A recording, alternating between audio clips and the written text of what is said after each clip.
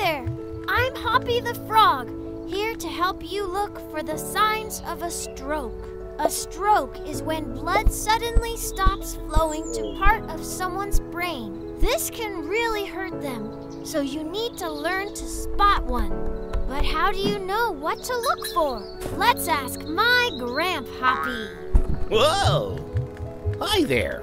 To spot a stroke, just remember the word FAST, which stands for face, arms, speech, and time. First, check the person's face.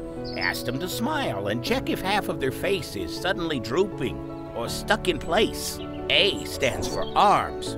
Ask them to raise their arms and watch if one is falling down or moving in a weird way.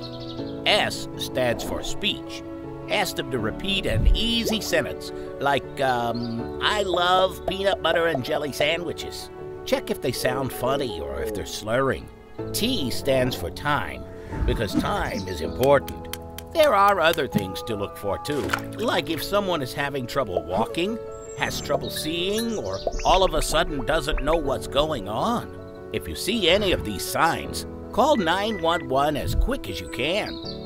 I love my Grandpappy, and if he ever needed my help, I'm glad I know what to do. And now you do too.